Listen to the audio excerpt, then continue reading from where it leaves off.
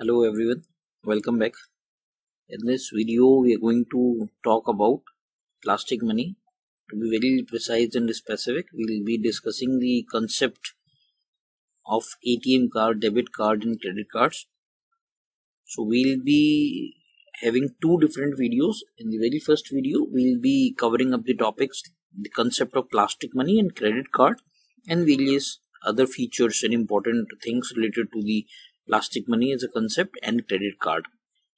Then we'll be discussing the various aspects like CVV card verification value expiry date and all the important features which are given on the debit and credit cards.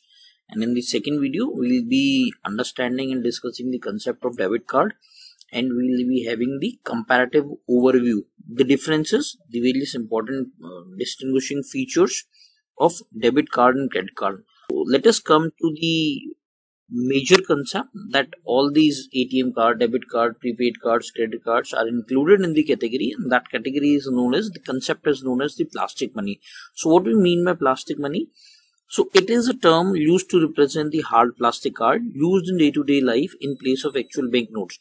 We're using the plastic money and we're surrounded by the plastic money and generally, generally it is the substitute of the banknotes or the currency or the legal tender currency that we are referring the term. So the primary type of plastic money that are very frequently used nowadays is your debit cards and credit cards. Everybody knows, have a basic idea about ATM card, debit cards, credit card and everybody might have heard these terms frequently so they're used for the purposes like online banking when are going to ATMs for cash withdrawals, paying bills online, online shopping, etc.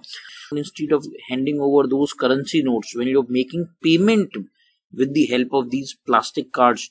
So that's why it is also known as plastic money. So this is the basic concept about plastic money. What we mean by it. We'll be coming to the first thing that is the credit card so what we mean by credit card is a basic introduction about this. Credit card is a small plastic card that can be used as a method of payment that money being taken from you at a later time. Now this definition is important and this definition is given by the Cambridge Advanced Learners Dictionary and Thesaurus. Right, why I have selected this particular definition is it highlights the concept of that you can purchase, you can use the card at any point of time but the payment will be made at some other point of time or in simple language we can say at later point of time. This is also known as buy now pay now as far as debit cards are concerned and buy now pay later concept in case of credit card so we'll be understanding this when we'll be studying the differences between the debit and the credit cards. The information on the card can be read by ATMs that is automated teller machines from where the money is giving or dispensing the cash right? So one important thing credit card can also be used for getting the cash withdrawals. From the very next day the interest will be charged by the bank. So no grace period or no flexibility will be given no credit period will be given in that particular case when you're using credit card for withdrawing of the cash another is POS terminals that is point of sales terminals. So you, you can go for online uh, shopping with the help of credit card. You can also swipe your credit cards at different point of sales terminals which are established in the various shops like textile stores supermarkets jewelry shops showrooms bookshops restaurants etc another is credit cards are accepted globally through their affiliation with visa and mastercard credit cards are issued with limits of usage called card limit. Now this is important point. Card limit means it's a kind of facility. It is a kind of credit facility which is given by the bank to its customer. That limit is known as the card limit which means that beyond which the customer cannot go for online shopping cannot use the funds which are given as a credit to to the customer by the issuer right? Which fix the upper limit up to which the cards can be used maximum amount if the card is if the card limit has 1 lakh rupees limit or card limit is of 1 lakh rupees so maximum the customer can use the funds up to rupees 1 lakh. It cannot go beyond that particular limit and that upper threshold limit is known as card limit. So credit cards have a regular billing cycle and billing date and due date of payment which is decided from the billing date. Now this is important concept purchases are made at one point of time and payment is made at another point of time. So there is a gap. So that's why this cycle is known as billing cycle. This is known as gap. This gap is known as billing cycle and billing date.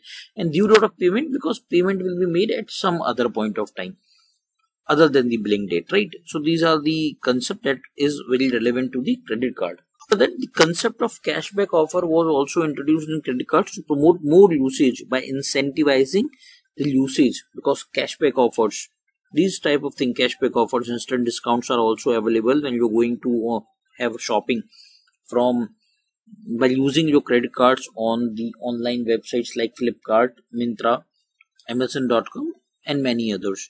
This incentivization is offered from 2 to 10 percent or depends from bank to bank or the issuer.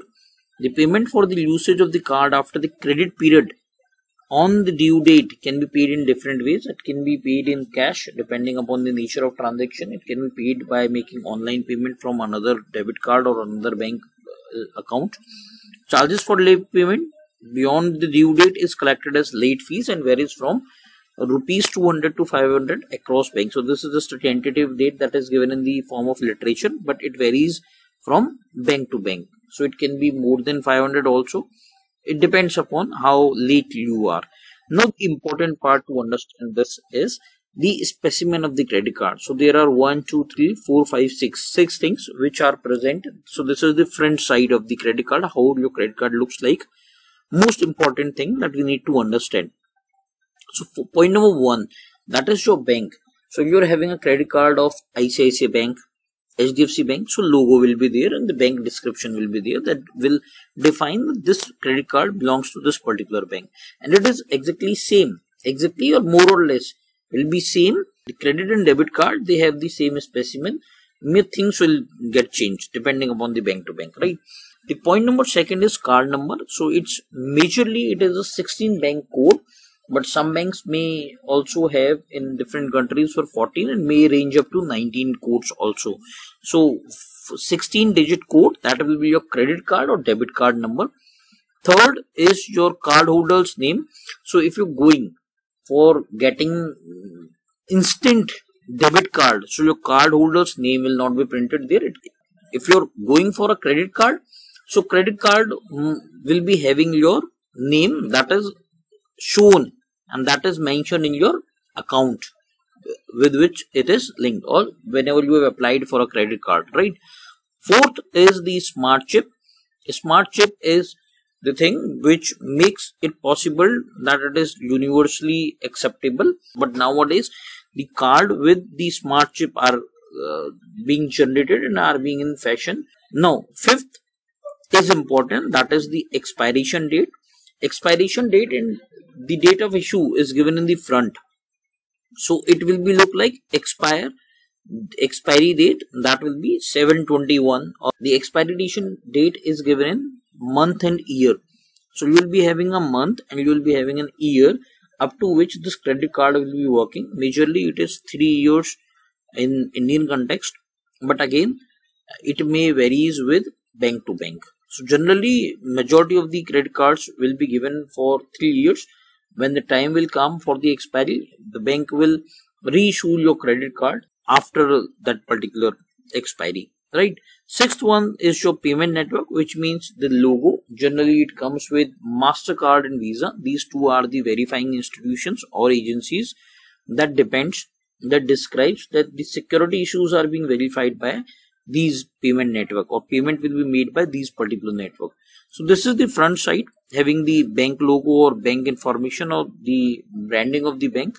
Then we have the credit card number. Then we have the credit card holder's name, the smart chip and the expiration date, which is very important because every time when you're going for any kind of transaction, so expiry date will be asked.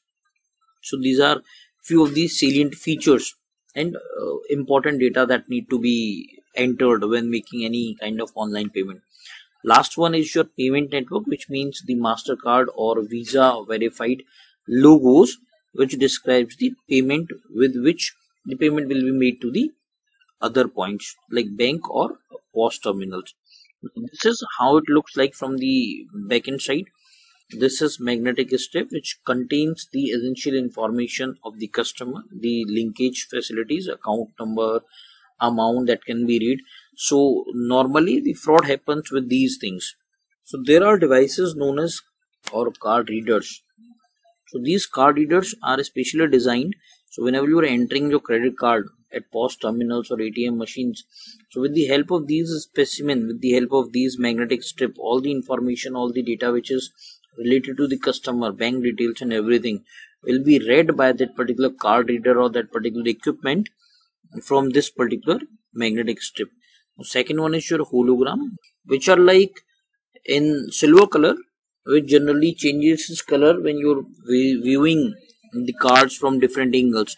So these are the things which are for the security perspective so these are generally uncopyable format these have generally uncopyable format so that authentication verification of the card can be done that these are the genuine cards so this is for the security check again the bank contact information. So your bank details will be mentioned there in case in case of card lost or any other thing. Somebody found your card and in case they want to report it to or you want to go for that these kind of things.